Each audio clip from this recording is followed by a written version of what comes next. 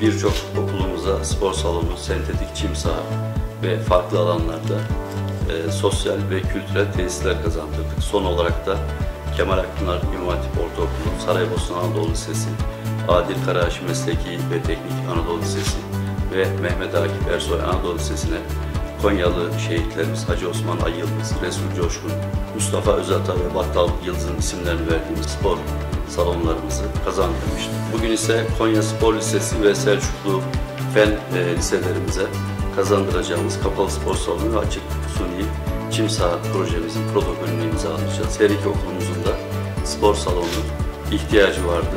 E, fen lisemizde ayrıca bir de sentetik çim saha ihtiyacı vardı. Selçuklu Belediyesi olarak iki okulumuza da gayet modern öğrencilerimizin spor alanındaki tüm imkanlarını karşılayacak birer spor salonu ve yine fen lisemize bu spor salonunun yanında e, bir de suni çim sahayı inşallah hızlı bir şekilde inşa edeceğiz. Bu yatırımın e, ilçemiz için, şehrimiz için, okullarımız için hayırlı olmasını temenni ediyorum. İnşallah e, öğrencilerimiz hem spor faaliyetlerini burada en iyi şekilde icra edecekler hem de gelecekte milli sporcumuz olacak ve yine olimpiyat hedefine doğru ilerlemede bizimle birlikte olacak olan sporcularımız inşallah buralarda yetişecekler diyorum.